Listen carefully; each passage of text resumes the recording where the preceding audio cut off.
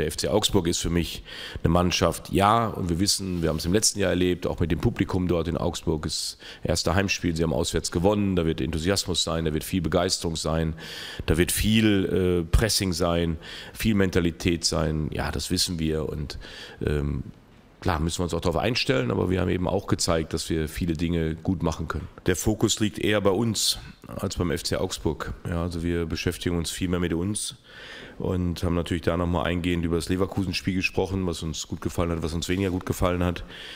Ja, und ähm, darum ging es uns erstmal jetzt in den ersten drei Tagen der Woche, dass wir das gut analysieren, dass wir daraus unsere Schlüsse ziehen. Chris Kramer hätte man lieber auf dem Platz als auf der Bank, ist doch ganz klar.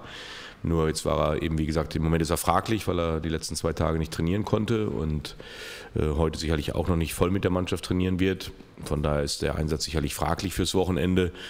Aber Chris Kramer wissen wir doch alle, der wird das nicht kampflos hinnehmen, dass er auf der Bank sitzt.